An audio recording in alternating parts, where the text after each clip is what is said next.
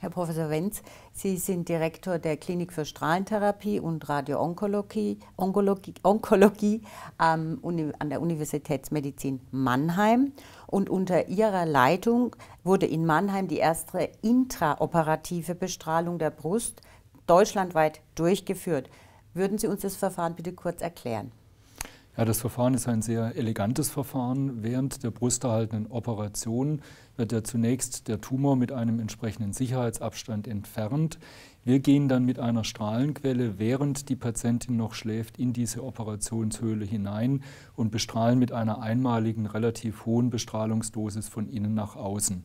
Das hat für die Patientin den Vorteil, dass sie von der Bestrahlung selbst nichts spürt, weil sie ja noch unter der Narkose ist. Mhm ähm, Brustkrebspatientinnen, die gleich während der Operation bestrahlt werden, kann man sich ja auch denken, denen wird ja erspart die Bestrahlung von außen oder zumindest ein Teil der Bestrahlung von außen. Und die Erfolge des Verfahrens sind in einer großen europaweiten Studie, der sogenannten Target-Studie, unter ihrer Leitung überprüft worden. Die Ergebnisse liegen auch schon vor. Würden Sie uns die bitte nochmal hier vorstellen? Wir haben in den letzten zehn Jahren in insgesamt 29 Zentren weltweit diese Untersuchung durchgeführt, wobei das neue Verfahren der intraoperativen Bestrahlung mit dem Standardverfahren der sechswöchigen Nachbestrahlung nach der brusterhaltenden Operation verglichen wurde. Insgesamt wurden über 2200 Patientinnen in die Studie eingeschlossen. Wir haben im April 2010 die erste Analyse gemacht mhm. und wir konnten die Ergebnisse nach vier Jahren äh, Nachsorgezeit publizieren mit einer Rückfallsrate von nur einem Prozent. Das heißt, 99 Prozent der Patientinnen hatten keinen Rückfall des Brustkrebses in der so behandelten Brust. Und wie viele Bestrahlungen von außen haben sich die Patientinnen durch diese Methode erspart? Die meisten Patientinnen haben gar keine Bestrahlung von außen bekommen. Bei einigen Patientinnen war es so, dass man während der Operation noch einige Risikofaktoren entdeckt hat, die man vor der Operation nicht kannte.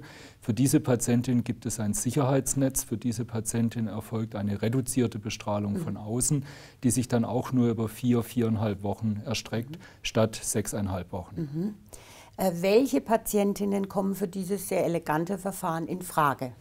Es sind vor allem die Patientinnen, die wir aus dem Screening-Programm sehen. Das heißt, es ist die etwas ältere Patientin mit dem kleinen Tumor. Es muss ein einzelner umschriebener Tumor sein, einer bestimmten Wachstumsart, dem sogenannten duktal-invasiven Karzinom. Jetzt haben Sie die Methode dieser intraoperativen Bestrahlung in Mannheim auch wieder ähm, als Pilotprojekt kann man sagen, ähm, auch für die Therapie von Metastasen erstmals eingesetzt, und zwar in der Therapie von Knochenmetastasen, die bei Brustkrebspatientinnen ja sehr häufig sind.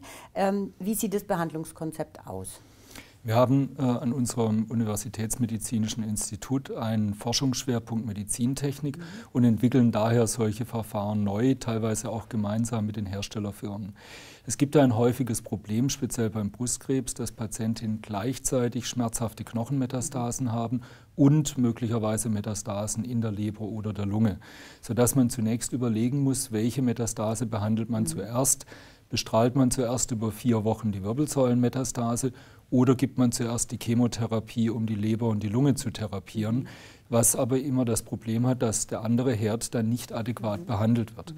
Wir haben deshalb ein minimalinvasives Verfahren entwickelt, wo wir in einem einmaligen Eingriff mit unserem Bestrahlungsgerät in die Wirbelsäulenmetastase hineingehen. Es ist ein Hautschnitt von wenigen Millimetern Größe. Es wird äh, eine einmalige hochdosierte Bestrahlung auf diese Metastase gegeben. Anschließend wird dieser Wirbel mit Knochenzement stabilisiert und dadurch sind die Patienten am nächsten Tag sofort belastbar. Das heißt, der Wirbel ist stabil und die Schmerzen sind reduziert und eine chemotherapeutische Behandlung kann ohne Pause direkt angeschlossen werden. Äh, wie, bei wie vielen Patienten oder Patientinnen wurde dieses Verfahren schon eingesetzt? Wir befinden uns hier äh, in der Phase der Dosisfindung. Das heißt, wir haben zunächst eine Pilotstudie gemacht mit äh, 20 Patientinnen und sind jetzt äh, in der Mitte einer Phase 2 Dosiseskalationsstufe, die wir voraussichtlich in ungefähr sechs Monaten abschließen werden. Und ab dann kann das Verfahren auch in weiteren Zentren zum Einsatz kommen. Mhm. Äh, wer kommt dafür in Frage? Sind es Patientinnen mit singulären Metastasen, also Einzelmetastasen in der Wirbelsäule oder wie sieht da äh, die Gruppe aus, die dafür in Frage kommt? Da wir jeden befallenen Wirbel einzeln behandeln müssen, haben wir uns bisher beschränkt auf Patientinnen mit bis zu drei mhm. befallenen Wirbeln, mhm. die vor allem im Bereich der Brustwirbelsäule und der Lendenwirbelsäule sitzen. Mhm. Und äh, die Erfahrungen, die Sie jetzt schon haben, Sie haben es ja vorhin schon mal angedeutet, also Sie sind sehr schnell schmerzfrei. Können Sie auch schon dazu was sagen, ob was zurückkommt? Mhm. Wir haben bisher bei einem Patienten erlebt, dass wir tatsächlich eine weitere Behandlung benötigt haben. Alle anderen Patientinnen und Patienten waren bisher rezidivfrei, wobei wir natürlich noch keine sehr lange Nachsorgezeit haben, aber doch sagen können, dass äh, im Sinne einer guten palliativen Therapie dieses Verfahren seinen Stellenwert finden wird. Mhm. Ähm, Knochenmetastasen werden ja heute vor allem bei Schmerzen in der Regel von außen bestrahlt. Ähm, ist es vergleichbar jetzt, wenn man von innen bestrahlt, vergleichbar mit der äh, Brustbestrahlung von innen? Sind die Vorteile in etwa zu vergleichen? Wir sehen sogar, dass die Schmerzreduktion deutlich schneller eintritt. Wenn wir von außen bestrahlen, dauert es meistens eine Woche bis zehn Tage, bevor eine Schmerzreduktion auftritt. Mhm. Bei der äh, intraoperativen Bestrahlung mit Kyphoplastie tritt die Schmerzreduktion bereits am nächsten Tag ein. Mhm. Ist der Eingriff eigentlich gefährlich? Denn es wird ja in einem hochsensiblen Organ der Wirbelsäule, wo die Nerven durchlaufen, gearbeitet. Es ist ein minimalinvasiver mhm. Eingriff. Äh, wir äh, haben einen kleinen Arbeitskanal von 5 bis 6 mm Durchmesser mit einer Metallhülse, sodass wir äh, hier sicher außerhalb des Rückenmarks sind, sodass wir eigentlich nicht befürchten müssen, dass hier Nervenverletzungen auftreten. Also es, es ist im Moment noch im Rahmen einer Pilotstudie an Ihrer Klinik.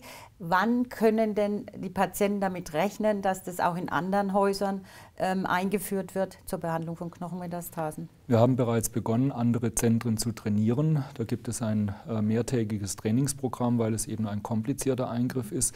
Einige Zentren äh, durchlaufen gerade den Genehmigungsprozess, sodass wir davon ausgehen, äh, dass im nächsten halben Jahr viele Zentren das Verfahren auch anbieten mhm. werden. Es ist bereits CE-zertifiziert, aber es muss eben noch das Training entsprechend stattfinden. Und wenn Patienten äh, sich äh, diesem Verfahren oder, äh, oder Ärzte ihre Patienten für dieses Verfahren für geeignet halten, können sie sich bei Ihnen direkt melden? Also an der Universitätsmedizin Mannheim. Genau. Gut. Wir schauen uns gerne die Unterlagen mhm. und die Bilder an, mhm. prüfen die Indikation mhm. und halten dann Rücksprache mit Patienten, Angehörigen oder behandelnden Ärzten. Mhm. Wunderbar. Danke Ihnen für gerne. die Auskünfte.